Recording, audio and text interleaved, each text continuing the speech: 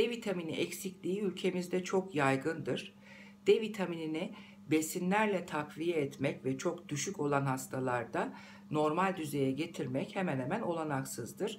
E, ama somon, ton balığı gibi e, balıklarda, e, sütte, yumurtada e, D vitamini e, düzeyleri yüksektir. Bunlar yenilmesi önerilen e, besinlerdir.